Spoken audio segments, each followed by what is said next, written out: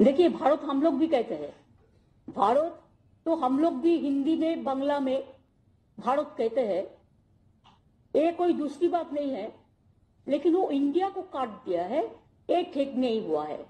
India is constitution अगर start करते हैं तो आप देख लीजिए we the people of India constitution amendment नहीं करके पहले इसको बता दिया पहले इसमें आ, मोहर लगा दिया ये अनकॉन्स्टिट्यूशनल है।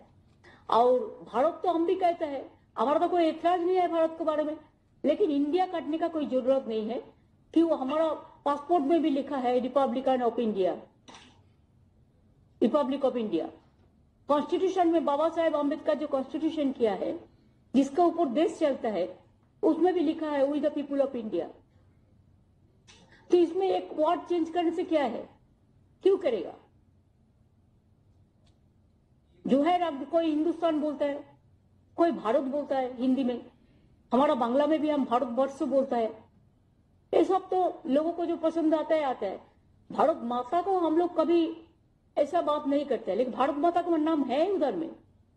जो है वो है दूसरी लाइन पे है आप देख लीजिए प्रियम्बल का बाद इंडिया नाम उठाने का कोई सवाल नहीं है। वो जो किया है, वो लगता है इंडिया जो अलायंस हुआ है, इसका बारे में उन्होंने सोचा है, इसी के लिए चेंज किया है।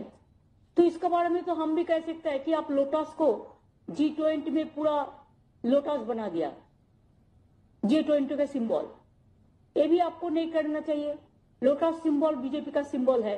वो भी हमारा नेशनल सिंबल है। कैसे एक पार्टी का सिंबल होता है? इसमें सोचना चाहिए। हम झगड़ा करने के लिए बात नहीं किया। हम आपस में ये बात कहते हैं